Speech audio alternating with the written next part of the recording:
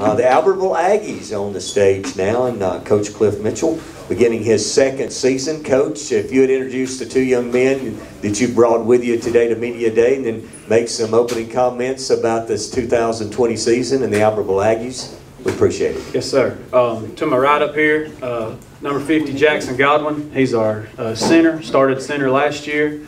Uh, to my left here is Trinity Bell, number uh, number one, plays uh, plays our wide receiver and a defensive end for us.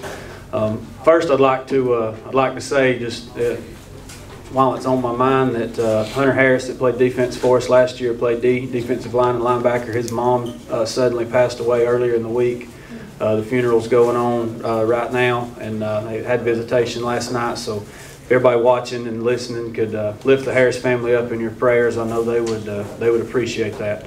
Um, outlook wise, I think uh, the number one question I get asked all the time is uh, is we going how how's seven A going to be?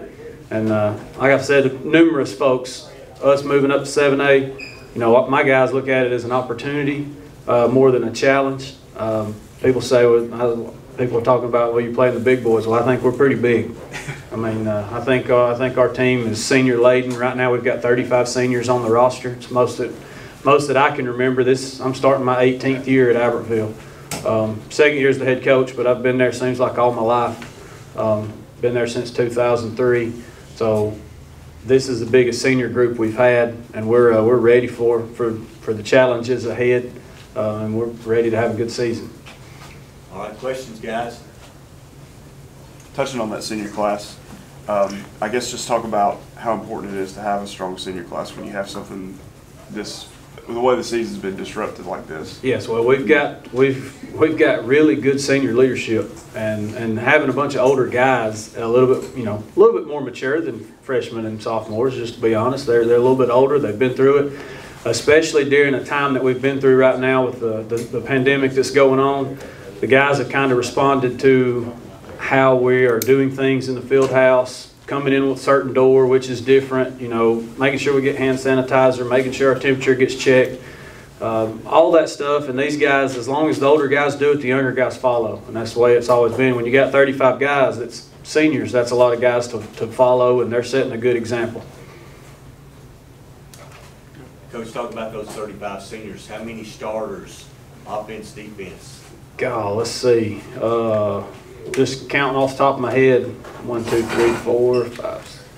We're sitting around 15 to 16 starters that are seniors. On both So sides of on the both sides of the ball, just, just adding them together. Um, and that, you know, that's huge. That's huge for you because you can, where, where you can put in a whole lot more stuff because, you know, they're just, they're more mature. They they know what to, they know what to expect from us. They've been around our program. Um, you know, when it went from me, from Coach Pruitt to me, we didn't change a whole lot of what we were doing. Um, as far as far as everyday, day-to-day stuff, because Coach Pruitt and I had, had worked together for a long time and kind of had th- stuff set straight that we wanted, and uh, so it's our senior guys have been buying in and they're setting an example for our younger ones. We've got a, you know, right now 10 through 12th grade, we've got 96, and then I got 45 freshmen. Um, so we're sitting around the 140 person mark on our 9 through 12. And that, you know, that, that's just related, just related to, to how big our school is. I know that, but we've got these young, these older guys are setting great examples for the younger guys. Our 2B ninth grade, our 2B ninth graders have gone, they went seven and one in junior high the last two, you know, that's seventh and eighth graders. They was, they were a really good junior high team. So they're getting to watch these older guys who have been successful all the way through in almost every sport. So they're getting to see an example set for them, and I'm proud of, I'm proud of our senior class. I'm proud of these two guys that's sitting on each side of me. Coach, this is an unprecedented year. What do you tell your players to keep them fired up? Really, I don't have to say a whole lot to these guys. Um, they, they, this group right here is, is ready and raring to go all the time. They're blowing my phone up about, can we get in the weight room? Can we get on the field and throw? Can we do this? Can we do that? Coach, we're ready to play. I'm ready to play. When can we play? So I know in, in their mind they're fired up, and I hope, you know, I, I hope and pray that we get to we get to have a season this year because I'm excited about this group of guys that we have at Albertville. Coach, sort of a two-part question here, one for you, one for the players. Okay. Uh, in, in your mind, uh, you mentioned opportunity and, and not challenge. What has to be different for the Albertville Aggies heading into this new year to take advantage of those opportunities? And for the players, how do you guys hope to affect your team uh, individually and together uh, in order to help coach and the staff kind of get that point across and take advantage of those opportunities? Well, you know, when, when, when those big schools that we get to play, we haven't really got to play in the past, you know, we're gonna play, we're gonna play our rivals, we're gonna play Arab and Boaz and Gunners, and we're excited about those, those guys. Those are, those are those old school hometown games that, you know, people get fired up for, so when I talk to the players about playing a, a Bob Jones, a James Clemens, a, a teams that we haven't played before, you know, there, there'd be a few guys that know each other on each other team, but, you know, the opportunity is there to, that if you beat one of those teams, that everybody in the state's gonna know that. So that's the opportunity set, you know, set before us, and we're gonna take that and run with it, and these guys are, these guys are ready to do that. If you wanna repeat that second question, you might wanna just, do uh, that. How, how, how you guys as leaders on the team expect it uh, from yourself personally to affect your team to take it- those advantages, those opportunities? Yeah, I'll go first. Um, uh, this year, I feel like we've been led like sort of like by our, our players, like we're a player-led team. And someone told me that like a player-led team would always go farther than a coach-led team. And just right now, our seniors are leading the team right now, so that's why. Um, we're definitely looking at it as an opportunity, like Coach said, to uh, make a name for Albertville. Um, we, uh, our senior class, we're all just really excited. Like uh, we've kind of talked about taking the region by storm, and uh, a lot of these teams, like they don't know what we bring to the table, and they don't know what uh, what we're going to look like. So just uh, hoping to make a name for ourselves. This question for Trinity and Jackson. Coach said thirty-five seniors on the football team. He chose you two guys to come today. Talk about what that means to you to represent the Albertville Aggies in front of the media on media day. Oh, it's just a blessing from God. Uh, I thank Coach so much. Uh, yeah, it's definitely a huge honor. Um, and uh, but we want to think we're all 35 of the seniors are uh, all a big part of the team. Even the guys that don't play a lot, uh, just everybody has the same mentality, and everybody just it's a brotherhood. Kind of going off that, Coach, talk to us a little bit about these two guys. I mean, what do they bring on and off the field for your team? Oh, these, these two guys beside me, know, and, and Jackson said it, you know, all of those senior guys, we've got, y'all, I could have brought them all. I mean, we could, they could have all been up here and been with us and, and been behind us, and that's, that's kind of the deal. This, this is as close-knit a team as, as I've been around. They, they, they hang out, they talk, they, they're with each other all the time. Um, Jackson, he, he's a, he, he's a really good leader on the field, really good leader off the field. Um, kind of gets guys where they need to be, you know, helps me get stuff, you know, get stuff going. Um, you know, Trinity, Trinity is a fantastic athlete, great kid, shows up and does what he's supposed to do all the time, works hard, sets that example. You know, I know he gets, he's getting recruited, you know, going to Tennessee, you know, gets all the fanfare, but he also shows up every day and works his butt off too. So those guys see that. And uh, so I'm, I'm proud of both of these guys. I'm proud of all of our seniors. You know, we, we got a ton. You know, I, I could I could probably name them all. Um, you know, but but I don't. You know, I could do that, but I don't want to waste everybody's time naming naming all of our seniors. But all of our guys are, are fantastic leaders, and I'm so proud of this senior class. Going back to senior, you got a senior quarterback coming back. Yes. Ben Allen's played, I don't know how many plays as quarterback at Albertville over the Mhm. last two years. How's it important is it to have that quarterback that's been with you now two years in your system to lead the team? Well, you know, Ben, Ben as a, as a senior quarterback, you know, that, that gives us an opportunity, you know, Coach Rutledge, our offense coordinator, gives him a lot of leeway in the offense. We're, we're gonna run a ton of RPOs, a ton of RSOs. A lot of that stuff is, is for, for Ben to be able to read, uh, give him a lot of freedom to do that. And, you know, he's been around, he's been around with Coach Rutledge, you know, his ninth grade year, 11th grade year, and now his senior year. So, so those two have a pretty good relationship. Um, you know, our offensive line has got, you know, three seniors right, you know, that, that started last year with, with Trent, with uh, Chris Ramirez, and with Jackson, those three seniors out there. Uh, Zion uh, Davis will be starting at receiver. Trinity's a starter at receiver. Um, those two seniors. Um, you know, on the defensive side of the ball, you know, Cade Bowman, I think, has made a million tackles for us over his career. He's, he's played since his ninth grade year. Uh, you know, Kai Jordan has always been in the back in the defensive backfield for us, but we're going to move him to running back this year. Uh, he's going to play a little bit of both, but he's going to play more running back. He's another senior that's played a million snaps for us. Um, so we've got, you you know, our defensive line, you know, we got Jose Gomez, Will Hand. You know, I could name a million, Uh, you know, I, I could name all of our seniors. That's, that's how much I care about those guys. Those guys mean the world to me. Because, you know, last year's senior group, we had about 18, not, not as big a group, but those guys, I've told them they'll, I'll always remember them because they're my first senior group. But I'm going to remember every senior group that I have. I'm going to remember every team that we have because these guys and our whole senior class, you know, that means a lot to me that we've got that many and they've stuck with it and been with football for this whole time. And, and you know, it's not a lot of seniors that, hey, I'm going to play my senior year. This is a lot of guys that's been out there for four years that's put the time in and they're ready to go to work. And they've been so good this summer. I know we've kind of harped on the senior class a lot. When I came out to practice with you guys a little while ago, I said to you, it's really obvious which group of guys on the field were the upperclassmen, were the seniors, and which were kind of some of the younger guys, just because they have that bond. So for coach and then both of the players, how special of a season is this going to be for this senior class? Uh, it's going to be, I think it's going to be really special. Um, you know, they're, they're, as, as Jackson had said, it's an opportunity for us. And, you know, our seniors kind of look at it that way as, you know, we've got, we've got a grand opportunity in front of us. And, um, you know, I hope the season, we get to play the whole season. You know, I know everybody's talking about the pandemic stuff, but uh, right now we're all focused on August 20th, you know, playing at home, playing Arab in that first game. And, and I hope we get to have as many fans in the stands as we possibly can. Well, Coach, uh, jump into seven A, and it's great to have thirty-five seniors because you're gonna have to be multiple on offense and defense Mhm. because it's gonna be about mismatches. So having those thirty-five seniors is gonna give you that opportunity to adjust, and that's important going into the season. Yes, sir. Yeah, it's, it's it- us, we're, we're very multiple offensively. We're, God, we got, we got, um, seems like a million sets, uh, stuff that coaches put in. Changing from Coach Lyles to Coach Richard as far as defense coordinator there. Um, you know, Coach Richard is putting his own little spin on our defense, so I'm excited about him, bright young coach.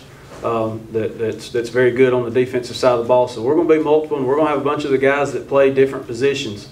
Um, not all of them, but you know, we're going to have some guys that, that, that play two spots a lot. You know, put we decided early on this summer that we were going to put, um, you know, put a lot of our ones on offense, and then those guys will go in, you know, third down stuff on defense and that kind of thing. So that's kind of where we're looking at right now. But we're going to have multiple guys, multiple older guys play multiple positions. And you know, I don't know what's going to happen with the rules. You know, we're trying to make sure guys can play multiple positions because I don't know what happens when school starts if somebody gets uh, coronavirus. Do do you quarantine for 10 days the whole classroom? Do we lose that guy for, you know, I don't know what all the rules and what the standards are going to be yet as far as that goes. So we need guys to be able to play multiple positions more than just one. Coach, talk about your coaching staff a little bit now. You feel kind of like an old head. You got a, a tree. Somebody is moving on, and the head coach. I- I know it, yeah, the Talk about your staff a little bit. All righty. Um, yeah, I mentioned Coach Rutledge. Um Coach Rutledge came when Coach Pruitt came. Um, I asked him to come back out and uh, be our offense coordinator, and, and last year was his first year with me, but uh, we've known each other since we were knee-high to grasshoppers, so we've, uh, we've known each other a long time. Uh, coach Jason Smith is our O-line coach, um, wonderful coach, um, relates with players very, very well. He's, he's hard on them, but he also loves them up when he has to. Um, Coach Andrew Keeney is our uh, new one that came to us. He's our softball coach also, but he's going to coach wide receivers for us. Uh, coach DJ Metz is also going to coach wide receivers. He's been with us for a while. Um, coach Rutledge is also going to be coaching the running backs. I've kind of taken a step back from during the whole pandemic stuff to make sure everybody's spread out and hand sanitized and everything's clean and water bottles are clean and all that kind of stuff. So I've kind of letting letting him run that side of it. Uh, Coach Harrell's a guy that is going to help Coach Smith with our offense, offensive line. He's going to help a lot with the freshmen. Uh, defensively, Coach Will Richard is now our defensive coordinator. He coached our safeties last year. Um, Coach Bowman is going to help him in the secondary. We hired Coach Pat Callahan from Boaz uh, to come be uh, come back home to Albertville. I coached him. You know, I, I looked back uh, 2000 my wedding uh, signatures. He was an eighth grader, and I was the junior high head coach uh, for a long time back in 2003, and a bunch of those guys uh, had came to the wedding. So I went, went back and looked for his signature and took a picture of it and sent it to him. So. Um, uh, coach Will, uh, Whit Ratliff is our D-line coach, um, and you know Coach Ratliff's a different dude, but uh, you need a different dude to be your D-line coach. And I told that in our D-line meeting, uh, I think Monday when they were watching film. I'm not gonna say exactly what I said to all those guys, but, uh, you know, Coach, Coach Ratliff's a different guy. But we love him. And uh, Coach Oliver, I moved him up from ninth grade. He's still gonna help me on ninth grade, but he's gonna coach our outside linebackers. Um, and then, and then that's, uh, uh, Micah Stallworth is, is kind of helping us as a volunteer assistant. Um, he's, you know, he's working a regular job and then trying to come to practice right now, so he's, he's kind of helping us there too. So I'm really proud of our staff. I'm proud of our junior high staff. You know, right now, you know, things, knock on wood, things are, things are looking up for us, so I'm, I'm excited to be at Albertville. Trinity, what's uh, what's more exciting, catching a touchdown pass or, or sacking a quarterback? Since you're playing both sides.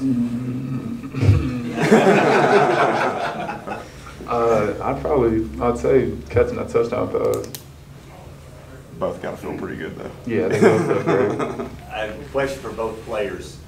Uh, Last week, when the Alabama State High School Athletic Association said that you were gonna have your senior season, what did you do? Did y'all call a team up? What did you do? Uh, well, we have a group chat on Snapchat with all the seniors in it, and the first thing we did was probably four or five guys all sent screenshots at the same time of where they had announced it, and everybody. It was just a big celebration. Uh, we've we've kind of thought we were going to be able to play, uh, but it was just really cool to uh, just get that assurance. Trinity, you wanna comment on that? Yeah, that's, that's what happened. I, I, Coach, I've got one last question if, if nobody else has got. Uh, last year, after several years as an assistant at Albertville High School, they gave you an opportunity to be the head football coach. I've never asked you this when we talked, but how much does that mean to you? God, it's, uh, you know, fixing to start year 18 at Albertville, and I was assistant for 16 years. You know, when you you always want to follow in your father. Most people want to follow in their father's footsteps. Um, you know, dad being a head coach, that's kind of what I'd wanted to be since I was little. So, you know, I had been an interim two times already, and uh, was really, you know, hoping this this time would would come around. And you know, when Dr. English and Dr. Tidwell and, and Mr. Reeves finally gave me that opportunity, you know, I, you know, besides getting married, my two kids getting born, you know, probably fourth happiest day of my life. You know, so I- that's that's how much it means to me. Just, you know, when you when you finally realize a dream come true, that's what it was. That's what it was was to me. But you know, that just me being that, but for me being able to live in Aberville, been in Aberville as long as I have, you know, I'm getting to the point where now, you know, some of the guys that I've coached have, have sons coming up and saying, Coach, I hope you're there when my son gets there. That's the kind of, I want to have a positive impact on Aberville for as long as I can be there and, and, and affect young men and try to make sure when they grow up that they're a reflection upon you know, their parents, a reflection upon the city, a reflection upon the coaching staff, that we set a good example for everybody else that's fixing to come up. You know, Kingston's a second grader, so I hope I get to at least be the head coach till he's till he graduates, and I want these guys to set that example. I mean, he's at practice every day. Those young guys, those young ninth graders, two be ninth graders are at practice. You know, right at, right as these guys are getting finished. So, you know, I try to tell them the way you act on the field is the way people's gonna think about you you know, the way you represent Albertville, the way you represent your city. So that means more to me than just being the head coach that, that hopefully raise young men in Albertville for the next 10, 15 years. Coach, thanks a lot. Thanks, Trinity. Thanks, uh, Jackson. We appreciate y'all being here Appreciate today. it.